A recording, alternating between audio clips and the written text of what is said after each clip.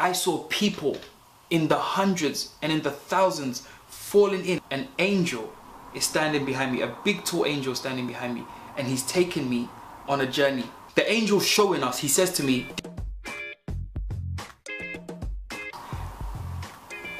Welcome to the channel, this is your host King Nana and today I'm going to be talking about my experience seeing hell. Now when I say my experience seeing hell, it's not like a lot of the visions you've had, you, you've seen people have, you know. Um, I mean, I respect their visions and encounters, but you know, a lot of people actually went to hell and you know, some people actually felt the heat of it and I'm like, rah, fam I'm so grateful I didn't have that experience, you know, but I have experienced seeing it in a dream. Now, the reason why I want to share this is not so much about the encounter itself, but more about what surrounds it to give you guys a lot of encouragement and um, a lot of hope. I'm the youngest of eight siblings and you might think that's a lot of people, but my granddad had 45 children, that's right. 45 children. Well, apparently it was 67 children, but 45 recorded children. But anyway, um, the brother who is just, you know, the one who's just older than me, the one who's just above me, he was not into God, you know. When I got saved, you know, when my mom got saved, we were on fire for the Lord, you know, we loved praying together, we loved, you know, sharing the word and stuff like that.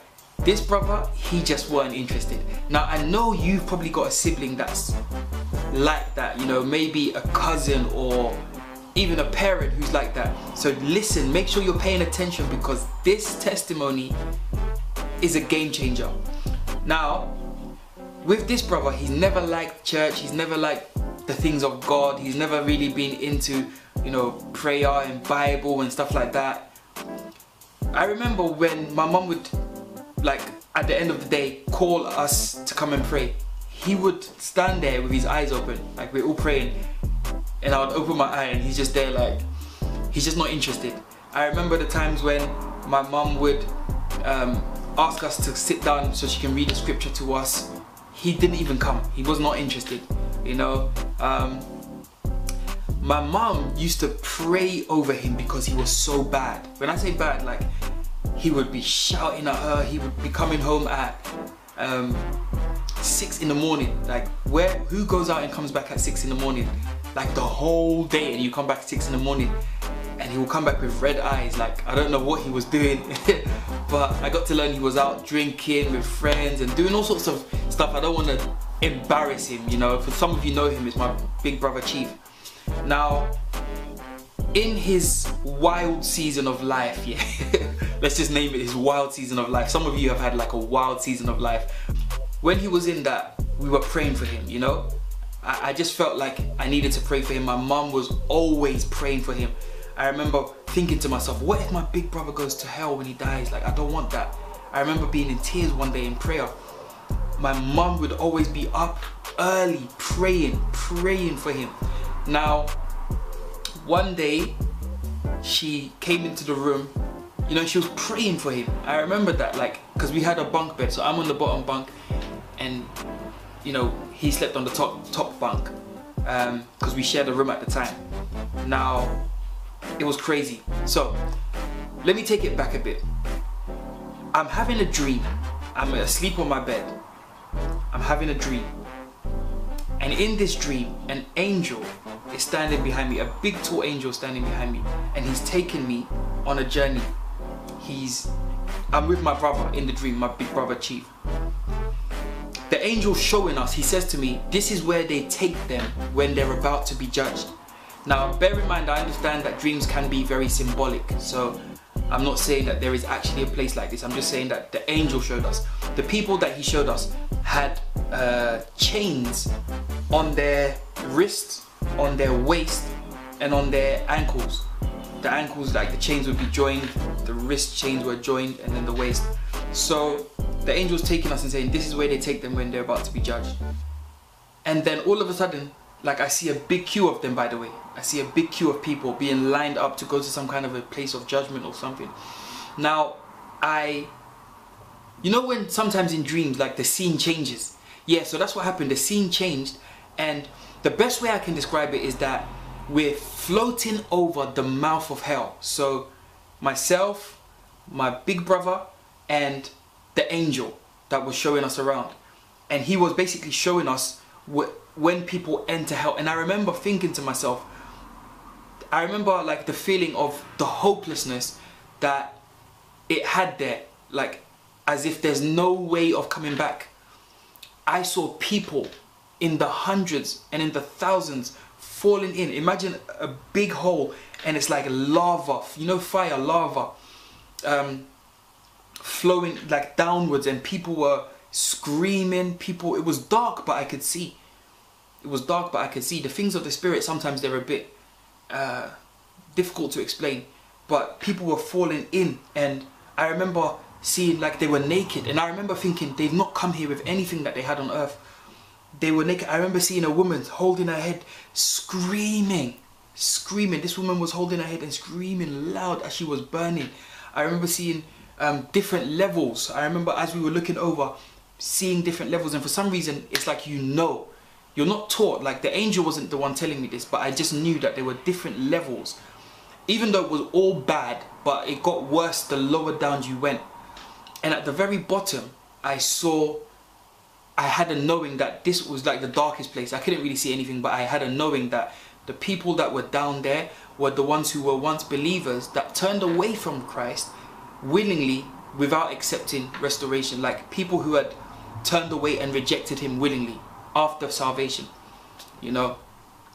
Now, of course, everyone has their different beliefs and stuff like that, but I'm just telling you what I saw. Now, as I was watching this, the angel was speaking to us, and then my brother spoke to the angel and said, I will change. Because of what we were witnessing, he was repeating it. He said, I'll change, I'll change, I'll change, I'll change. Now, here's the part I want you to listen to. At that moment, I woke up from the dream. And when I woke up, my mum, who I told you would sometimes just, you know, enter the room and start praying over him, anointing him with oil in his sleep. I'm sure you've got like a praying mom or maybe a grandma or someone in the family who's just really prayerful. And maybe at a point they probably annoyed you with their prayers because they were always praying. You were trying to sleep and they're praying over you. Yeah, that was my mom. But she was doing it over him. So I'm on the bottom bunk, bottom bunk, and I'm like literally waking up to see my mum praying over my brother on the top bunk, saying to him, "You must change. You must change. You must change." In his sleep, like you know, what I'm saying? Like not his. He. I think he had woken up. I beg your pardon. He had woken up and she was saying, You must change, you must change. But I was the one waking up. And then in the dream, he was saying, I will change, I will change. I wake up and I hear my mom saying, You must change, you must change. So imagine like the dream and reality merging. So I'm coming out from the dream, hearing my brother say, I will change. And then I listen to my mom saying, You must change. So I'm half awake, but I say to my mom, Mom, Mom, Mom, it's okay. He's gonna change, he's gonna change. I kid you not. Nothing happened over the first few weeks. He was still the same. In a matter of weeks, he went to church one day because my mom eventually convinced him to come to church. He's coming to church. You know, we had already been at church and here he is on his way to church. But my pastor, who was on his way up, meets him downstairs and actually leads him to Christ. Speaks to him, preaches the gospel, and leads him to Christ on the road. Literally, my pastor was coming out from his car and led him to Christ on the road. So weeks later, it was around Easter at that time. Weeks later, he meets my pastor coming up the stairs again, and my pastor gives him his Bible. My pastor gives my brother his own Bible and says, Here, I want to give you this, it's yours to keep. To you, that's probably like, oh, okay, but I'm a pastor, right? And I know how much you value your own Bible. You would not just give it to anyone, you'd rather buy them a Bible. He gave him his own Bible. To me, it was like a prophetic act. It was symbolic. It was almost like, you know, like in the Old Testament, God would tell the people to do something to represent what he was about to do. Yeah. So for me, I see that as a 100% prophetic act of what was to come because it was not long afterwards he started changing you know, he gave his life to Christ, he received the Bible on Easter. And I remember telling him, I remember telling him, do you know what that means for your for our pastor to give you his Bible? That's not normal. And at the time, I wasn't a pastor, okay, but I, I just knew that it wasn't normal. So, um, yeah, so time went on, time went on. This boy, this man, changed. My big brother, he changed. He started coming to church. He started praying, reading his Bible by himself. He would be asking me questions from the Bible. He still does, you know, but he's very teachable. But I mean, in his, he would be asking me questions. He would be, I would hear him at a point. I got my room, he got his room. I would hear him in his room praying. I'm telling you, I would hear him worshiping. I remember one day, like coming on the bus. Um, it was High Street Kensington around there. I'm looking on the bus, I'm looking down, and I look and see someone preaching to somebody or talking to somebody, and it's my brother. So I get off and come and like I walk from behind him, he didn't see me, and he's preaching the gospel to some guy. I cannot give God enough glory. Someone who was so hardened to, to prayer, to church, to Christ, to everything that was godly, and now seeing him going after God in a certain way I cannot give God enough glory. Now he's doing all the things he's doing. In fact, I remember there was a time, right? Because, like I said, I had my own room at a point, he had his own room. When my sister moved out, I took her room. I was like, yeah, let me have this room. and I started, you know, living in that room. One day, I'm in the room, I think I was reading the Bible or listening to like a preaching message. It was late, late, late at night. He knocks on my door and comes in. His eyes are teary. I'm wondering what's happening. He comes in looking like he's had some kind of an encounter and he says, I just saw Jesus. I just saw Jesus. I just saw Je I said, wait, Wait, what? I said, wait, wait, wait, wait, what? He said, I just saw Jesus. I had a dream and maybe I'll leave it to him. You know, one day I'll get him on my channel to come and share um, his encounter, you know, with, with Jesus um, in the in that dream. It was a dream, but um, since that day, he changed.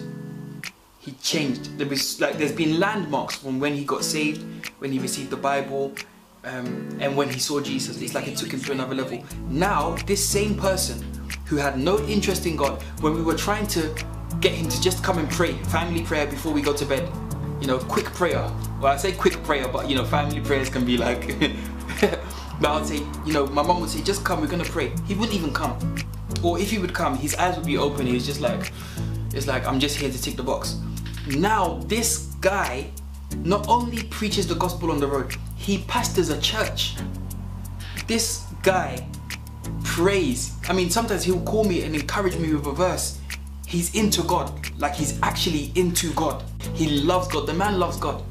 You see, um, so the reason I've wanted to share this primarily is not so much just about the encounter, but it's more to do with not giving up on people in your family that are hardened to God.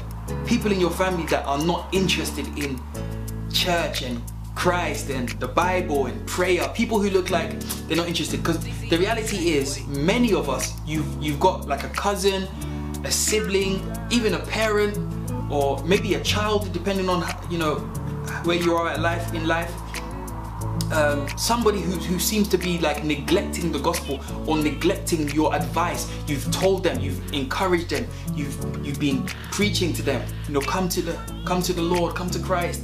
You know inviting them to church even maybe but they're just ignoring you. They look uninterested.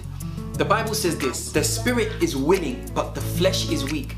Don't give up because you're speaking to them and they look uninterested. Their spirit man is hungry for God. So I want to encourage you, whether it's a brother, a sister, an auntie, an uncle, a cousin, a friend, a colleague, don't stop praying for that person. That that same person who looks like they would never even step foot in a church or they would never even, you know, kneel down and say a word of prayer. They would never even respond to the word of God. Don't give up on that person. You know, the Bible says while we were yet sinners, Christ died for us, for all have sinned and fallen short of the glory of God. If God can save you, if God can save me, if God can save my brother, who can't He save? Not only save them, but flip the script on the enemy. Like, God flipped the script. If the devil was looking at my brother and laughing, like, you know, thinking he's mine, it was just a matter of time before God just says, okay, let me flip the script and show you who he belongs to. I am the Alpha and Omega. I am the beginning and the end. I am the author and finisher of your faith. I want to encourage you, don't give up on people. Keep on preaching the gospel. Keep on praying for people.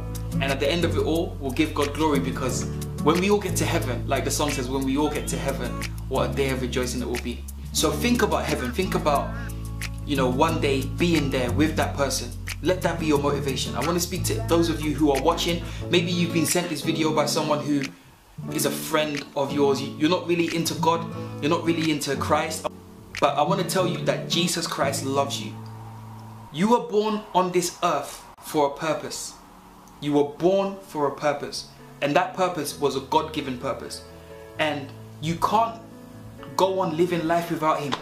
You know, He loves you. He died for you. 2,000 years ago, Jesus Christ died for you on the cross. Why? So that you can have salvation freely. He wants you to be saved freely. There is a heaven, there is a hell. There's a heaven in, you know, eternity. We're going to go there. It's a place of joy, it's a place of bliss, the Bible says we will walk on streets of gold. You know, the streets, like what we value here, we walk on it there. But there is also a hell. And hell is a place of torture and damnation. You know, and once you're there, you're there forever. Don't leave it too late. My faith in God has has saved me. Your faith, your faith in God will save you from a life of eternity in, in hell okay? So i want you to extend your faith to god's outstretched hand as he's saying receive me as your father. Receive me as your savior okay? So i want you to just pray this prayer with me.